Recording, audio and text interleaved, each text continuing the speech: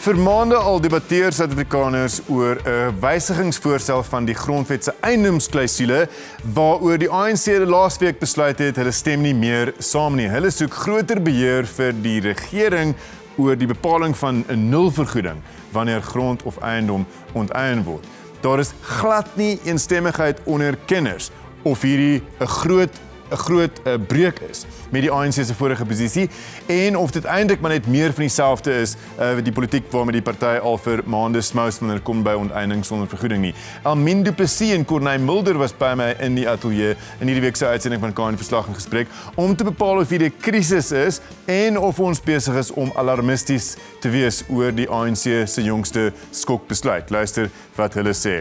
Dan praat ons oor Israel, 'n groot plan, eens in 'n EU plan deur president Donald Trump is op die tafel uh om die Palestynë en die Israelies nader mekaar te bring, maar die Palestynë is glad nie eens genooi na die onderhandelinge hier, nie. So dis eintlik 'n redelike eensidedige besigheid. Wayne Sussman is in die ateljee om te gesels oor die kanse wat hierdie plan vir vrede in die Midde-Ooste het om op die ouend te slaag.